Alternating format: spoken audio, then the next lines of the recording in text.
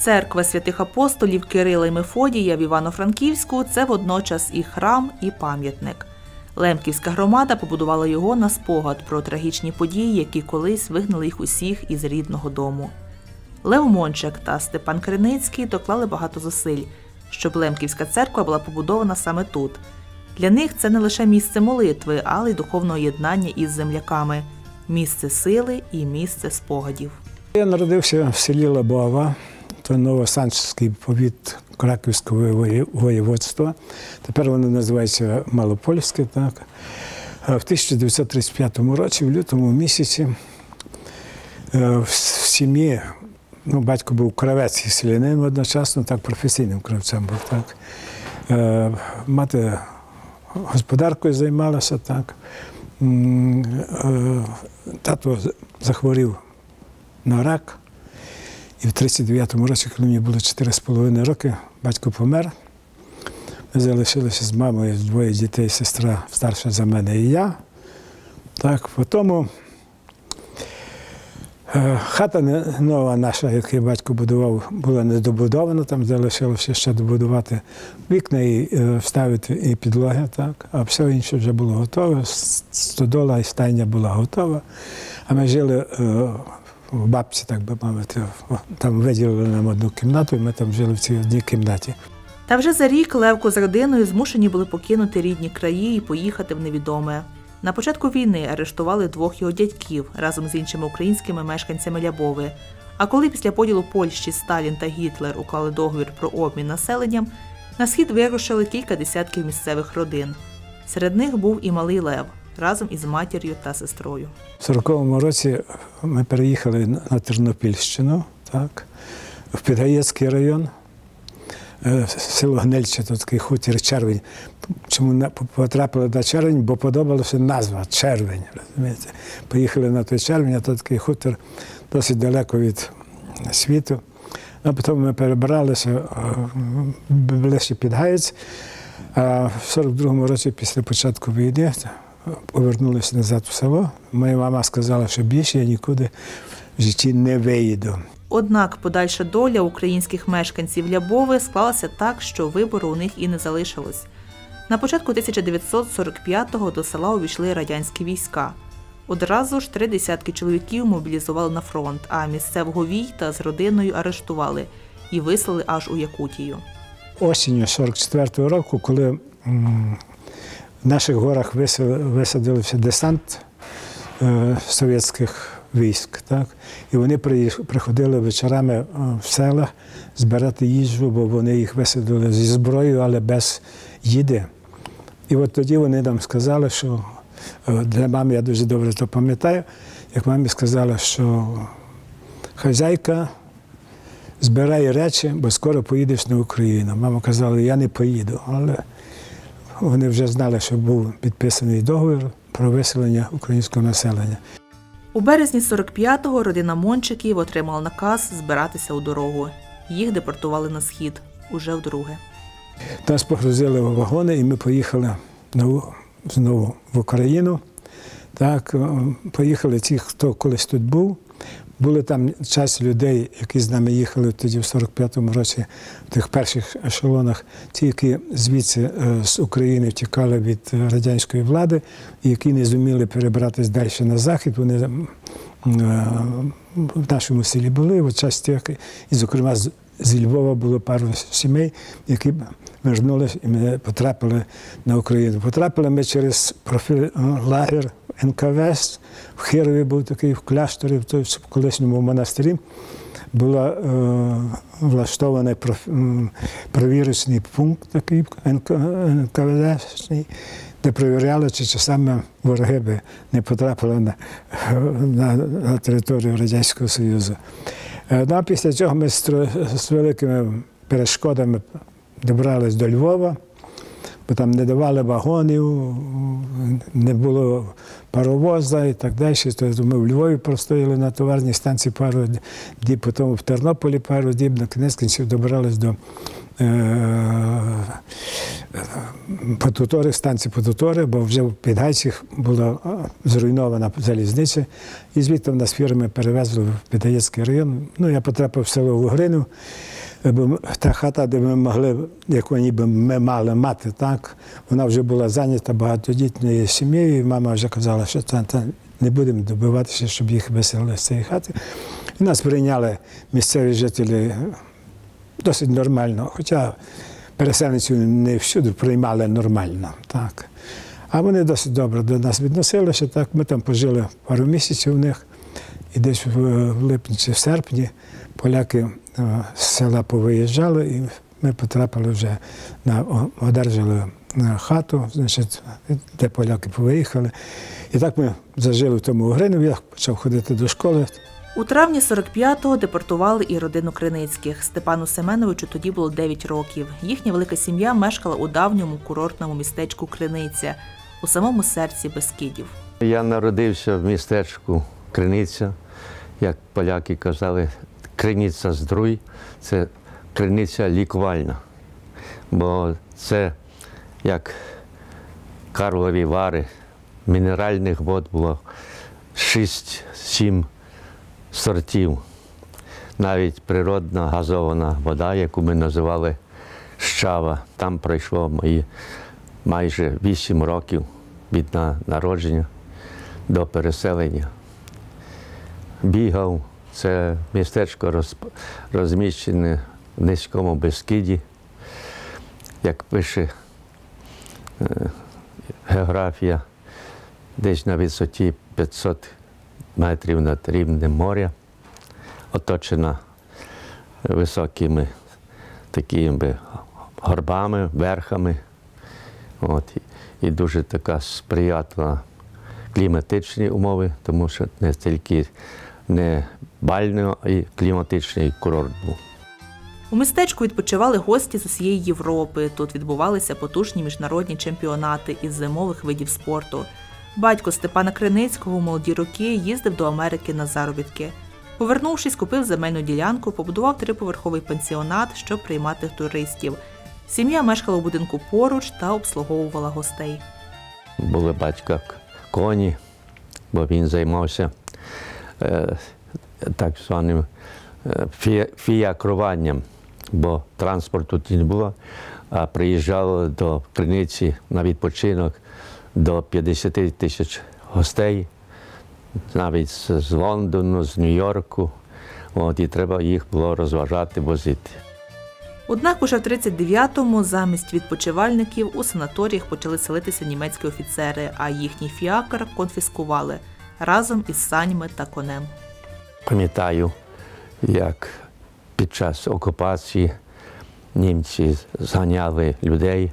Недалеко була Е, синагога жидівська, як вони заставляли їх самих розбирати без всяких інструментів е, цю синагогу, а потім потихеньку їх відтранспортували куди невідомо. Бойові дії оминули криницю. Місцеві хлопчаки могли лише спостерігати, як колони військових рухаються то на схід, то на захід проте життєві умови погіршувалися із кожним днем. Один день прокинулись, ні, ніяких німців вже не було. Я побіг до міста, там от, почались грабунки магазинів. От, Я ще приніс пару банок меляси. Це солодкий такий, як мід. Ось. І прийшли вже е, солдати, пару там чоловік з 30 радянські солдати. І так наступило закінчення війни. Потім вже почались розмови про те, що треба виїжджати. Значить, Ніхто про це ми діти не звертали на це великої уваги. До нас приходили агенти казати, що треба забиратися, виїжджати, бо буде е, їдьте в Радянський Союз, там вам буде добре, а тут вам не місце. Поїхати на схід для родини Криницьких означало втратити все, що так довго і важко здобували власною працею. Однак до їхнього дому чи не щодня приходили представники нової влади і наполегливо радили збиратися в дорогу. Можна було лишитися, але треба було занести всі метрики до польського костелу. Мама сказала, ні в якому разі. Вже старші сестри мої, її доньки Марія і Юля вже поїхали на Полтаву. От. Каже, що з, з, з людьми, то і буде з нами. Треба їхати. Тут лишатися не можемо. Як і родину Мончиків, Криницьких теж спершу кілька тижнів везли до пересильного пункту у Хєрові, а потім, після перевірки, знову повантажили у товарні вагони і майже місяць доставляли до станції Потутори біля Бережан. Завжди за вагон чи м, ешелон ставили на, на день в тупик, десь там. Ну і люди рятувалися, бо можна було забрати і худобу з собою, дозволяли тоді, давали, випасали, ви- виганяли тих корів, пасли, доїли корови, і е, люди там і народжувалися, і вмирали під час тої поїздки.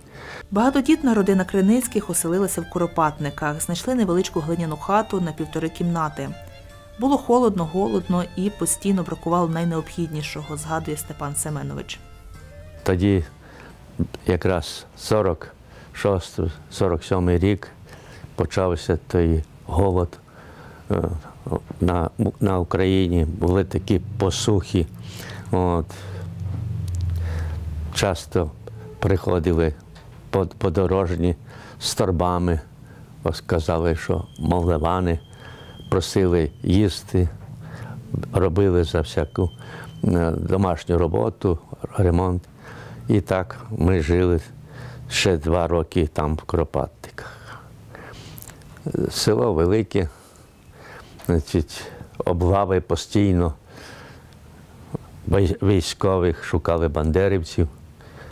На, найрано йдеш до школи, там лежить під веретою труп якийсь, кров. Е, В школі базувалися стрибки. І так проходили роки вже тут на Україні. За два роки родина Криницьких змогла перебратися ближче до Станіслава. Раніше тут оселилися дві старших сестри Степана Семеновича. Життя родини й тут було нелегким, однак діти підростали і ставали на ноги. Степан Криницький закінчив фельдшерську школу і понад 60 років працював у медичній сфері. Викладав в університеті, досліджував зміни в організмі під час спортивних тренувань. Захистив дисертацію, отримав вчене звання доцента. Попри важке та голодне дитинство, Лев Савович теж успішно опановував науки.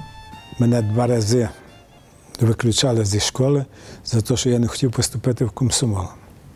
І такі були цей от. Ну, але е, е, була е, розроблена ціла система, виганяють зі школи, а після того, як на два тижні, через два тижні ти приходиш, тебе починають по всіх предметах ганяти з настановою поставити два. А п'ятірки, Боже упаси, щоб не було так. Ну, я кожен раз приходив підготовлений, так що нижче трійки мені не ставили, а клас годів, як мені ставили нижчу оцінку, на- на я відповідав. Значить. Ну, у всякому разі, так, да. а потім я перебрався в вечірню школу, ну, працював в тракторній бригаді обліковцем і пішов в вечірню школу, закінчив вечірню школу. А звідти у 50-х роках вступив до політехніки у Львові. Вивчився на геолога, працював на Івано-Франківщині, у Биткові та Долині. Згодом залишився викладати у нафтогазовому виші. В школі у нас е, було небагато лемків. В, тих класах, де я був, так, де мені приходилось, були там поодинокі. Ми дружили між собою. То треба. Е, в групі моїй нас було е, четверо, п'ятеро. П'ять чоловік було із переселенців. Так що це ми теж дуже дружно між собою став, е, е, ставились між собою. Дехто не признавався, що він з лемків, так або стидався того слова. І таке бувало. Причому я себе завжди визнавав. Я не дуже часто, коли студентам читав лекції, там тоді, коли були по 100, 100 125 е, людей по 5 груп, значить, то я на першій лекції, то я казав, питав, чи з лемків тут хтось є? Ніхто не признавався. Тільки один потім на перерві підійшов і каже, Грицевич, я переселенець. Так, а так це. Ну, але було багато переселенців. Потім дещо вже пізніше признавалися на початках, деякі просто того стидались, бо ну, була деяка, як би сказати, Ну, був такий вираз. Я не знаю, чи його видумали місцеві, чи видумали самі лемки.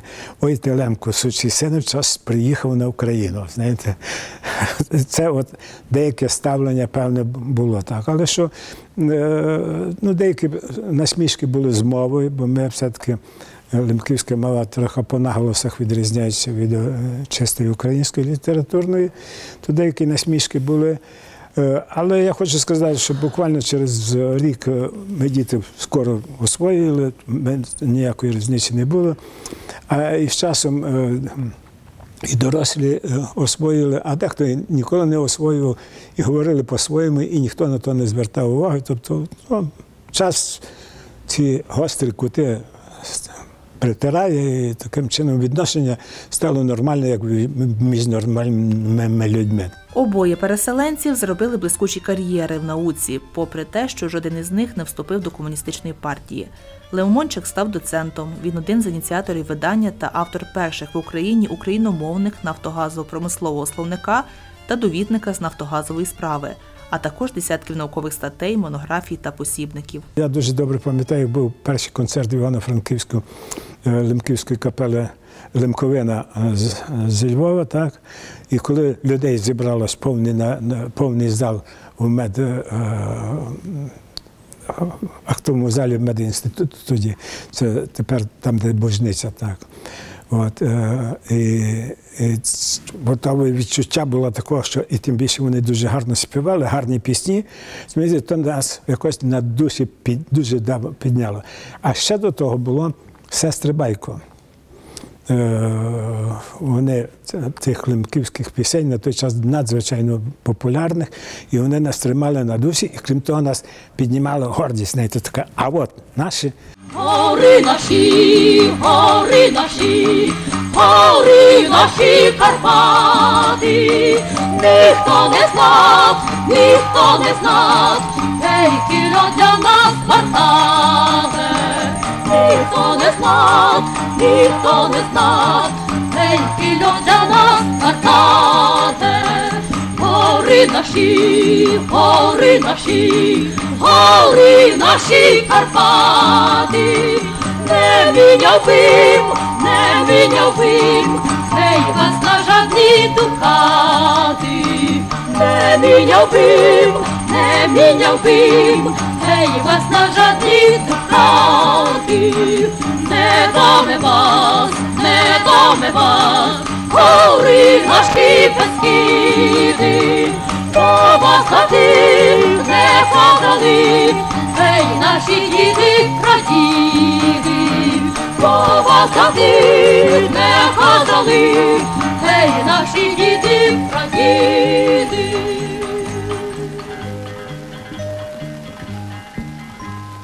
Наші деякі газети отримали із е, Америки е, Лемківські, які на той час виходили, правда, вони такого трошки політично різного спрямування, але в всякому разі теж таке відчуття було так, що це. Ну а вже 90-ті роки, коли Україна і так би сказати, суспільство ожило, то безумовно е, наступив той час, коли в Львові, а потім у нас Івано-Франківську, е, організувалося ці товариства, які почали працювати. Тоді мене обрали головою з 91-го року. По 16-й рік я був очолював. Творили осередки е, Снятині, Долині, е, Маріамполі, е, Коломиї. Провели першу поїздку на ватру в 92-му році, але перед тим зразу з де- 91-го року почали е, створювати хор зібралась дуже великий колектив, понад 50 чоловік. Багато було виселенців з Лемківщини. І цей хор донині творить. І от ми Левком Мончиком є його штатними, як би сказати, учасниками. Побудова Лемківської церкви стала важливим досягненням у громадському житті обох науковців. Тепер сюди приходять усі, хто був виселений з Польщі, а також їхні нащадки і греко-католики, і православні. Усіх їх єднають спільні спогади, туго за втраченими домівками, а ще віра, що майбутнє покоління українців ніколи більше не зазнають подібної трагедії. Дуже дивно, як люди з покопійці без всякої допомоги зібрали величезні кошти, щоб побудувати в лемківському стилю оцю церкву. Приходиш до церкви, той з такого села каже, той з такого села, той з такого села. Тим більше тут дуже часто вітають з днем народження, то кажуть, що а народжений там, там в Лабові, там народжений в Криниці, народжений в Телиці і так далі. То також е, ну, дає е, певну як, наснагу до життя, отак можна сказати, в загальному.